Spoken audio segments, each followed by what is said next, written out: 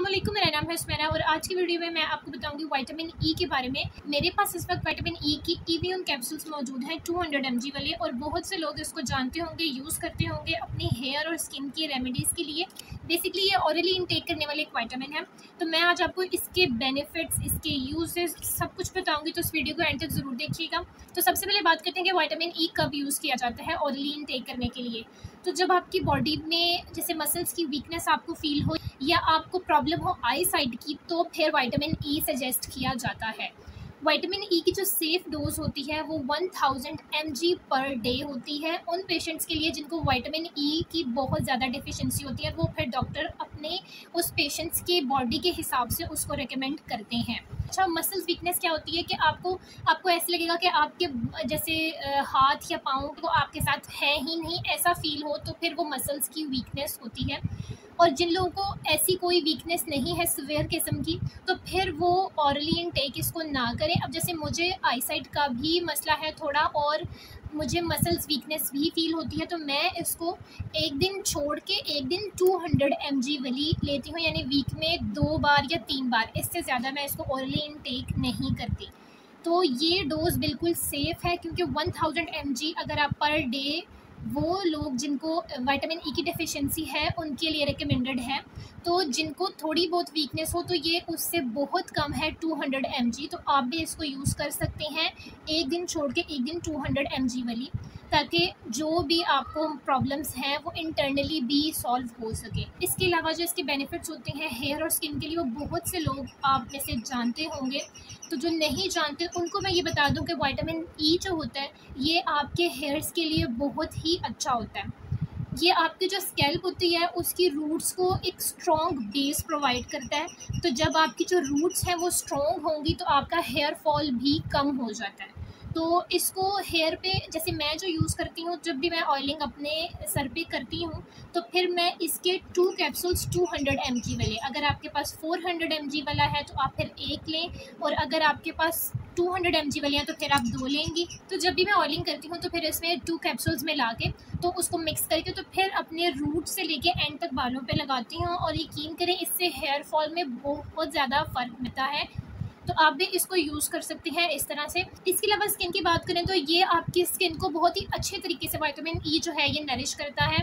ये आपकी जो स्किन की इन्फ्लेमेशन होती है, इसको रिड्यूस करता है और एक जैसे यंगर लुक उसको अपीयर करता है और इसको आप किसी भी क्रीम में मिला के भी यूज़ कर सकते हैं। नाइट टाइम में बेस्ट है। जैसे रात को सोते हुए कोई भी आप अगर मॉइस्चराइज़र या लोशन यूज़ करते हैं फेस वॉश करने के बाद तो उसमें ये टू हंड्रेड वाला एक कैप्सूल अपने हाथ में जैसे लोशन लेके उसमें मिक्स करके तो वो आप अपने फेस पे लगा के सो जाएँ ताकि आपके सारी रात आपके फेस पे वो लगा रहे और उसके जो बेनिफिट्स हैं वो आपको मिले।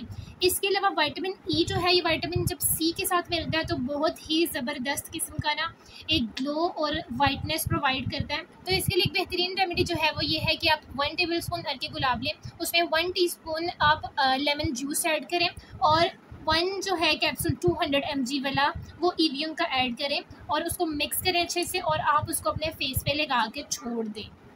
तकरीबन आधा घंटा आपने उसको लगाना और उसके बाद आप सिंपली फेस वॉश कर लें।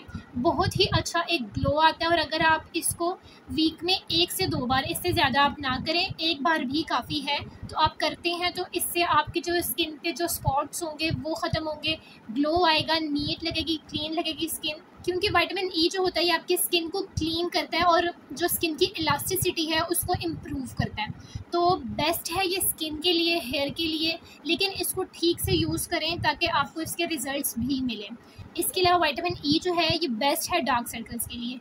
बेहतरीन जो इसकी रेमेडी है वो ये है कि आप एक वाइटामिन ई e का 200 हंड्रेड वाला कैप्सूल लें। उसमें आप जैसे हाफ़ टी स्पून जो है वो ऑलमंड ऑयल का ऐड करें और उसको मिक्स करें और, और अपने डार्क सर्कल्स पे लगा के सो जाएँ। रात को सोने से पहले ये करें। तो बहुत ज़्यादा इससे फ़र्क पड़ता है। आप मुसलसल जब ये करेंगे विद इन वन मंथ आपको काफ़ी फ़र्क नज़र आएगा। आपके जो डार्क सर्कल्स हैं, वो बहुत कम हो जाएँगे और आहिस्ता आहिस्ता ख़त्म हो जाएँगे। इसको ज़रूर ट्राई कीजिएगा, आपको इसके रिज़ल्ट डेफिनेटली मिलेंगे। इसके अलावा एक बेहतरीन आपको बात बताऊँ विटामिन ई के बारे में कि अगर आप इसको औरली इनटेक करते हैं तो it is so good for female fertility इसको ओरली मैं खुद पर्सनली इनटेक करती हूँ 200 हंड्रेड वाली एक दिन छोड़ के एक दिन किसी भी चीज़ को आपको आदि नहीं बनाना अपने लाइफस्टाइल में। तो इतना बेस्ट है सेव है, आप ज़रूर ऐड करें क्योंकि अगर आपको जैसे मसला है हेयर फॉल का या जो भी स्किन का, आप उसको ऊपर से ट्रीटमेंट दे रही हैं और अंदर से आपकी बॉडी में ही उस चीज़ की डेफिशिएंसी है तो उसके रिजल्ट्स आपको इतने नहीं मिलेंगे। तो इस वजह से ऊपर से ट्रीट करने के साथ साथ आपको इंटरनली भी इसको इनटेक करना चाहिए और इसकी सेफ़ डोज के जो आपकी बॉडी पे कोई भी किस्म, किसी किस्म का रिएक्ट ना करे, किसी किस्म के जैसे वो कहते हैं कोई नुकसान ना हो आपकी बॉडी में। अब इसकी बात की जाए तो ये मेरे पास मैं इसका पूरा पैकेट ख़रीदती हूँ। अब मुझे नहीं पता कि ये एक शीट कितने की मिलती है।